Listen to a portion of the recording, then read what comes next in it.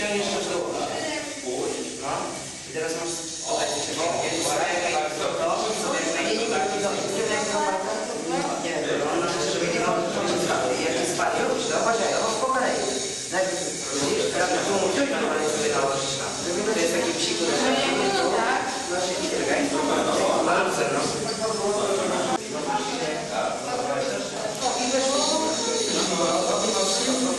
Dla mnie to jest szok. Nie- Pierwszy raz jest tyle osób, naprawdę.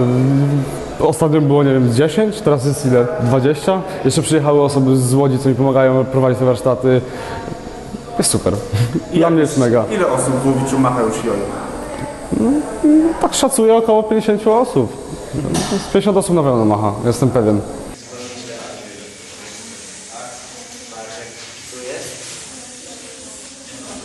Tu przytrzymaj, tu przytrzymujesz. I będziesz tak. No, tobie wpada tak. Znaczy w sumie to nie jest błąd, bo od razu z tego można przejść, ale... Można powiedzieć, że cała Polska, która bawi się jono, to są moi znajomi, więc sporo osób, nawet ponad 500. 500. A w Łowiczu? A w Łowiczu sport cały czas rozrasta się i sądzę, że jest około 40-30 osób, które macha już jojem. A powiedz mi, co myślisz o Marcelu Łuk?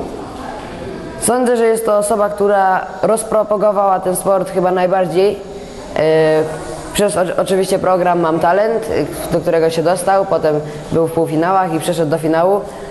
Mm, Zrobił ogromną rzecz dla tego sportu, który w Polsce nie był tak bardzo popularny, a teraz jest coraz bardziej. A jakie jest twoje, twoje największe osiągnięcie? Mm, Moje największe osiągnięcie to jest siódme miejsce w Polsce.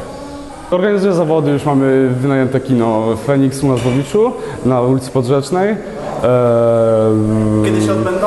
8 marca, Dzień Kobiet, E, więc tak troszeczkę może i specjalnie, ale e, przyjadą też osoby z, z Polski, z zagranicy, będą sędziowie z zagranicy, więc warto przyjść. Zapraszam.